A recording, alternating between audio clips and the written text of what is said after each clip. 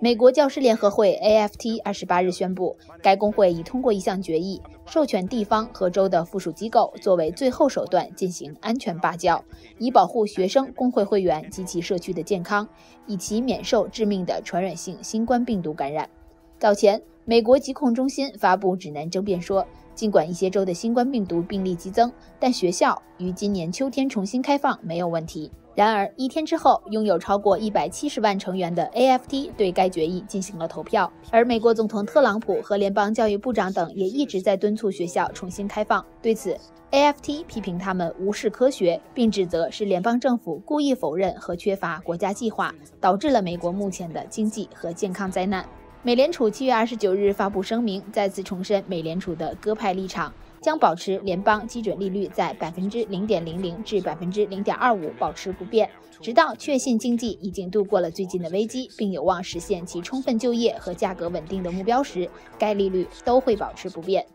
七月二十九日中午，亚马逊 CEO 杰夫·贝佐斯、苹果 CEO 蒂姆·库克。Facebook 创始人马克·扎克伯格和谷歌母公司 Alphabet 掌门桑达尔·皮查伊通过视频会议，首次在同一天接受美国国会议员的质询，调查其市场主导地位是否存在不正当竞争。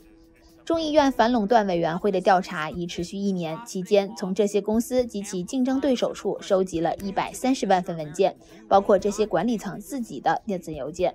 除了反垄断质疑外，这几位科技巨头掌门人还将回应和网络言论监管、新冠疫情应对有关的政治提问。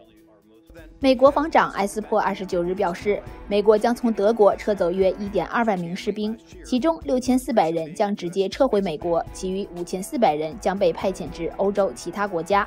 埃斯珀称，驻德美军将从约三点六万人降至二点四万人，此举是为了强化北约组织和遏制俄罗斯。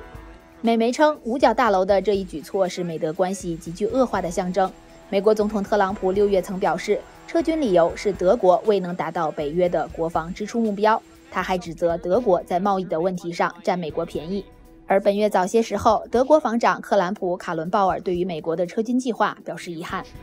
中国外交部发言人汪文斌二十九日在例行记者会上应询介绍说，经协商，世界卫生组织两名专家已于七月中旬来华开展新冠病毒溯源科学合作预备性磋商。隔离期间，世卫组织专家与中方专家多次举行视频会议，双方就全球科学界在新冠病毒人群、环境、分子、动物溯源以及传播途径等领域开展的科研工作进展和下一步科研工作计划进行了深入交流。中国大连七月二十九日召开疫情防控新闻发布会，通报疫情最新进展和防控措施等情况。大连市卫健委副主任赵连通报，暂停全市范围内部分空间相对密闭、容易形成较长时间人员逗留、聚集和密切接触的影剧院、棋牌室、游艺厅、书店、图书馆、文化馆、博物馆、美术馆、校外培训机构、社区活动场所、网吧、舞厅、酒吧、KTV。公共浴室、养生按摩店、美容院、彩票室、体育馆、游泳馆、室内景区等经营性场所经营，严格落实四方责任，缩小网格管理，坚决堵住漏洞，防止疫情的反弹。